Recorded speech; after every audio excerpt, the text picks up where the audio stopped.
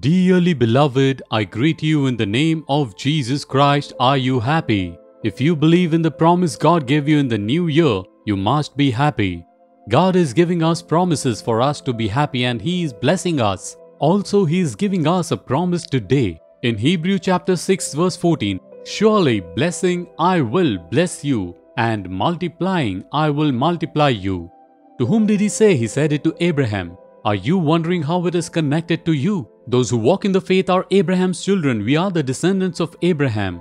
Galatians 3 says that this promise is for us. When Abraham was a single man, the Bible says that the Lord called him, blessed him, and multiplied him. So God who never fails looks at you and says, My son, my daughter, I will surely multiply you, multiply your income, multiply your faith, multiply your anointing, I will multiply your ministry, I will multiply your borders, says the Lord. See, when the Lord called me for ministry, I was only a single man. I surrendered myself in 1975. I prayed as a single man.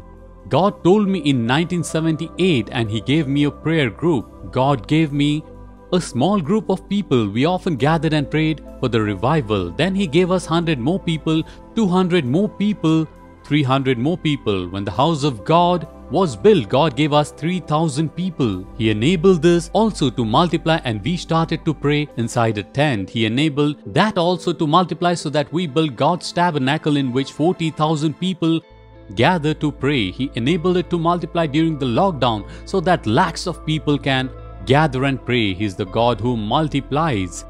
He will also multiply you and your ministry. Just say boldly, Thank you, God, for you enable me to multiply, and you will see the blessing this year. Dear Father, you are the God who enables us to multiply, just like you blessed Abraham and multiplied him. Bless your son, your daughter, and multiply them. God, please multiply their faith, multiply their anointing, multiply their ministry, enlarge their boundaries, and multiply them, God. Please multiply the income in their lives just as your promise this year to restore to them all they've lost. Please bless them by enabling them to be glad and multiply them. We pray in the name of Jesus Christ, dear Father. Amen. Amen.